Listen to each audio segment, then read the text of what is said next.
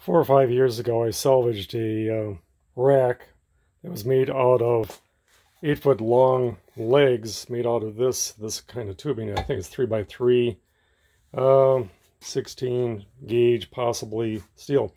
But anyway, I've used it for various things to make projects uh, or, or to make projects like well, where I mounted the toggle switches, for example, for the backup cameras in my 2007 Roadtrek Versatile.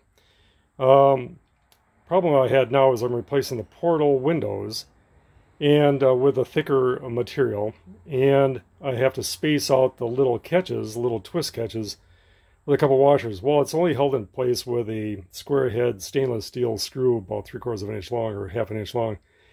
And one side is stripped out. So that led me to think, okay, what can I do to replace it? In the past, nobody's ever done this before. If you have a hole that's stripped out, like for a, a thread, a lot of times you can take a golf tee and cut it off and wedge it inside. Like, uh, say if you have a hinge for a cabinet door and the hinge screw or the screw hole is, is stripped out, you can usually insert this with some Elmer's glue, possibly a toothpick, and then resync your screws into it.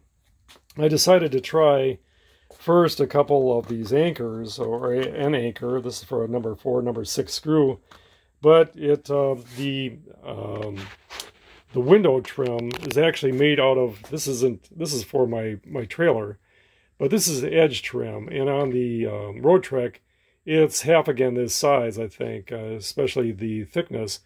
And um, and so the window, the glass is on the other side and it's wedged in. I'm not about to just uh, uh, take that apart.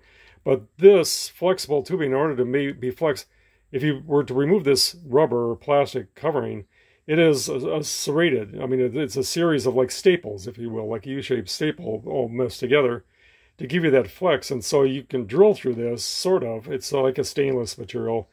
A little difficult to do, but once it's gone, or once that uh, little piece is gone, like in this motorhome, it's gone. So what I decided to do was to cut a piece of leftover uh, that I had of this in my bin and if you'll see, if you'll notice, it's got a little bit of a, a lip on it from where I had cut it out previously on here.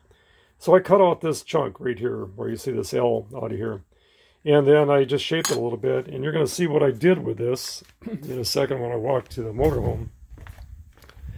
I wedged it behind the trim, and you'll see it here in a second.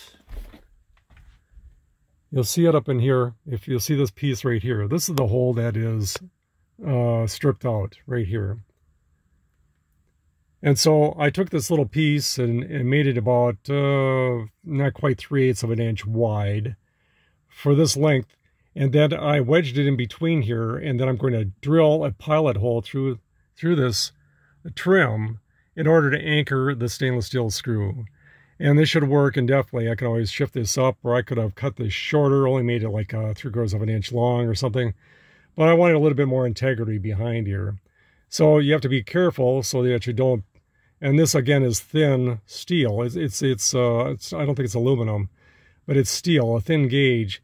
But you have to be careful you don't have sharp edges so you don't tear your material here. So stay tuned. I'm going to see what it looks like because this cover, if you will, more than overlaps this, so you're never going to see this device in here anyway. But if you can't come up with a quick fix for this, this is what I did, and hopefully that'll work for somebody else.